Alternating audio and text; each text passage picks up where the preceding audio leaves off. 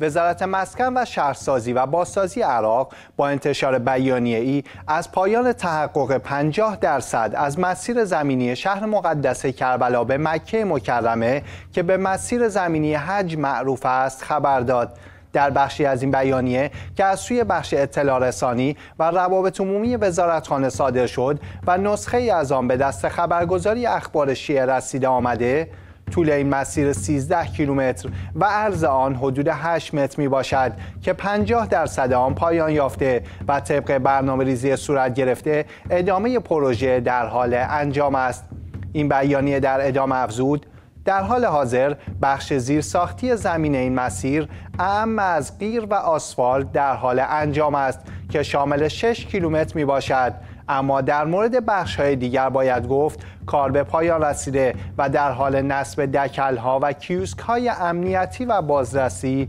در مسیر هستیم.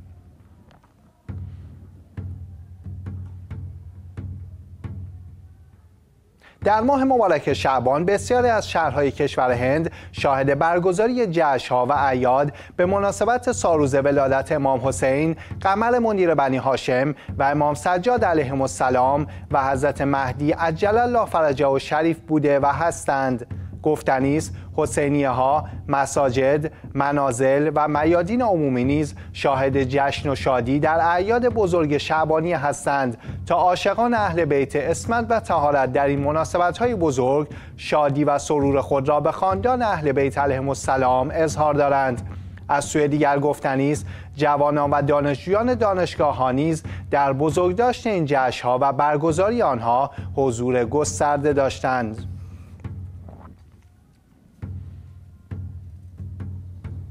زنجیره ای از مدارس که توسط مربی ایدئولوژیک راست افراطی بی جی پی حزب باهاراتیا جاناتا وابسته به نارندرا مودی اداره می شود به دنبال تغییر تاریخ و علم در کتاب های مدارس به دانش آموزان می باشد شایان ذکر است دانش آموزان در مدارس مجبور هستند تا 15 دقیقه قبل از شروع کلاس در محل عبادت مدرسه جمع شوند و برای خدایان هندو قدیسان، شخصیت های اساتیری، علمای هند باستان، پادشاهان و آینهای مذهبی هندو دعا بخوانند. گفتنی است برای بیش از دو قرن میلیون ها هندی به ویژه هندوها در مورد ایده ها و فلسفه های منصوب به دانشمندان باستانی مطالعه کردند اما در زمان نخست, وزیر، نخست وزیری نارندرا مودی بسیار از این مفاهیم راه خود را به سیستم آموزشی رسمی گسترده هند باز کردند و خطوط بین باورهای مذهبی هندو از یک سو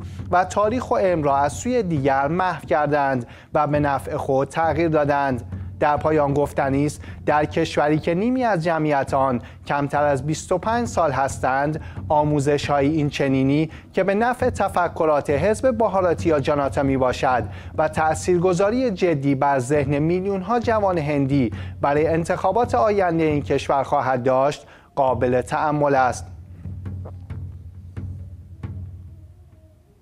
گروهی از شیعیان در نیجریه سیاست های اقتصادی نامناسب و ویرانگر دولت رئیس جمهور بولا احمد تینوبو را محکوم کردند شیعیان و گروهی از مسیحیان کشور نیجریه سیاست های غلط دولت را سبب تشدید بحران معیشتی و تشدید گرسنگی در این کشور آفریقایی می دانند. از سوی دیگر روزنامه های چاپ داخل نیجریه به نقل از افراد نزدیک به رئیس جمهور نیجریه نوشتند شیعیان تنها کسانی هستند که از وضعیت فعلی معیشتی شکایت دارند و معترض هستند و آنچه نیجریه از نظر گرسنگی در آن به سر می‌برد امری عادی است و کشورهای دیگر نیز از آن عبور کردند. گفتنی است نزدیکان به رئیس جمهور تینوبو کاهش سطح زندگی و تشدید گرسنگی مردم در این کشور را امری عادی دانستند که در هر کشوری اتفاق میافتد و تاکید کردند که در مقابل اعتراضات مردمی و برنامه ریزی شده شیعیان این کشور خواهند ایستاد.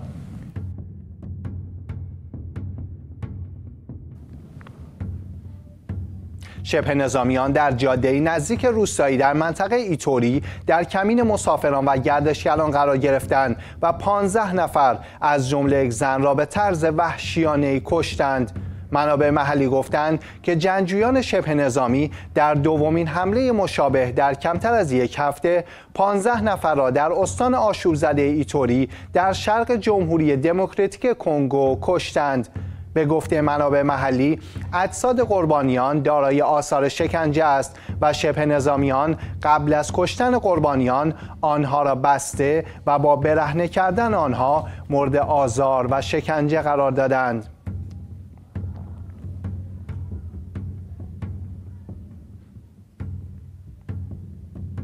به گزارش منابع محلی افراد مسلح دوازده نفر را در خانه های خود در روستایی در منطقه کاجورو در ایالت کادونا زنده زنده سوزاندند. گفتنیز پلیس پس از رسیدن 15 زخمی را برای مداوا به بیمارستان مجاور منتقل کرد. ایسا یوسف رهبر جوانان جامعه محلی در تماس تلفنی به خبرگزاری آنادولی گفت تیراندازی زیاد بود و ما می ترسیدیم از خانه های خود بیرون بیاییم. آنها خانه های زیادی را آتش زدند. دوازده نفر در خانه های خود سوختند و حدود پانزده نفر به شدت مجروح شدند. شاین ذکر است این حمله یکی از سلسله خشونت ها در منطقه است که گفته می شود توسط دامداران در درگیری های مکرر با کشاورزان بر سر دسترسی به آب و دام هایی که در اطراف زمین های کشاورزی چرا می کنند انجام شده است.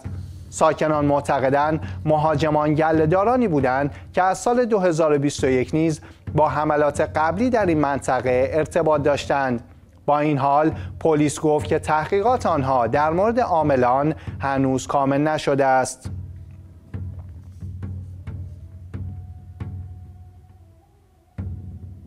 بنیاد جهانی آیت الله العظما سید صادق شیرازی به مناسبت روز جهانی عدالت اجتماعی بیانیه‌ای خطاب به حکام کشورهای عربی و اسلامی صادر کرد. در بخشی از این بیانیه که نسخه از آن به دست خبرگزاری اخبار شیعه رسید آمده عدم تحقق عدالت اجتماعی در بسیاری از کشورهای عربی و اسلامی موجب عدم دستیابی شهروندان این کشور به جایگاه و سطح عدالت اجتماعی و رفاه شده است. این بیانیه در ادامه افزود تحقق عدالت اجتماعی همچنین بر وضعیت بهداشتی، فساد در جوامع و رفاه عمومی و سطح معیشتی شهروندان تأثیر مستقیمی گذاشته است. این بیانیه در پایان از حکام عربی و اسلامی خواست همه زندانیان سیاسی و آزادی بیان را بدون قید و شرط آزاد کنند تا گامی مؤثر در راستای تحقق عدالت اجتماعی باشد.